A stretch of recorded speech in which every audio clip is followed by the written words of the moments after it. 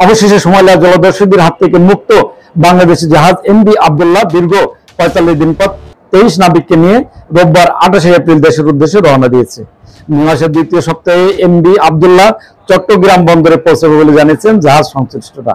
এর মধ্যে সংযুক্ত আরব আমিরাতের আল হামরিয়া বন্দরে কয়লা খালাস করে আরেকটি বন্দরে পণ্য বোঝাই করে রওনা দিয়েছে জাহাজটি। সংযুক্ত আরব আমিরাতের আল হামরিয়া সমুদ্র বন্দরে ছেড়েছে সোমালিয়ার জলদস্যুদের হাত থেকে মুক্ত জাহাজ আবদুল্লাহ। শনিবার সাতাশে এপ্রিল সকালে জাহাজটি পঞ্চান্ন মেট্রিক টন কয়লা খালাস করে আবুধাবির উদ্দেশ্যে রওনা দেয়। সেখানে পণ্য বোঝাই করে জাহাজটি সেখান থেকে পণ্য ও তেইশ নাবিককে নিয়ে রোববার দেশের উদ্দেশ্যে রওনা দিচ্ছে এমডি আবদুল্লাহ। গত বারোই মার্চ সোমালিয়া জলদস্যুদের কবলে পড়ে এমডি আবদুল্লাহ।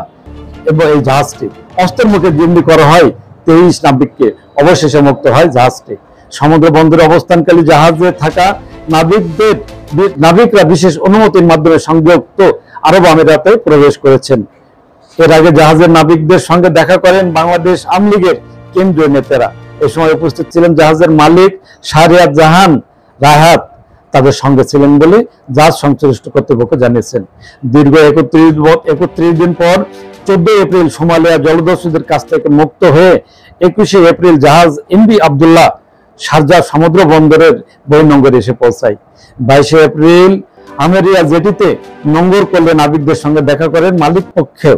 এ সময় উপস্থিত ছিলেন স্থানীয় বাংলাদেশ দূতাবাসের রাষ্ট্রদূত আল জাফর, বাংলাদেশের কনসুলেটর কনসাল জেনারেল সহ পঁচিশ সদস্যের একটি প্রতিনিধি দল। এরপর থেকে জাহাজের নাবিকদের সার্বিক দেখভাল করছেন জাহাজের মালিক প্রতিষ্ঠান K S R F group.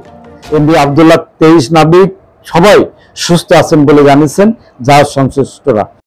জাহাজের তেইশ নাবিক জাহাজে ফিরছেন বলে দাবি করেছেন জাহাজ কর্তৃপক্ষ। হ্যাঁ ভিউয়ার্স আমাদের ভিডিওটি সম্পর্কে মতামত জানাবেন লাইক ও কমেন্টস করে। আর ভালো লাগলে শেয়ার করে অন্যকে দেখার সুযোগ করে দিবেন। আমাদের চ্যানেলটিতে নতুন হলে এখনই করে নেবেন সাবস্ক্রাইব কারণ সাবস্ক্রাইব করা থাকলে সবার আগে পেয়ে যাবেন আপডেট ও নিত্য নতুন খবর।